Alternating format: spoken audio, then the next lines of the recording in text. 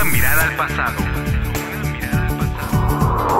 Un día como hoy, pero de 1813, se conmemora la promulgación del acta solemne de la Declaratoria de Independencia de la América Septentrional por el Congreso de Anáhuac, sancionado en el Palacio de Chilpancingo. La bandera nacional deberá izarse a toda asta. En 1871, el general Porfirio Díaz lanza el Plan de la Noria, oponiéndose a la reelección del licenciado Benito Juárez García como presidente de la República.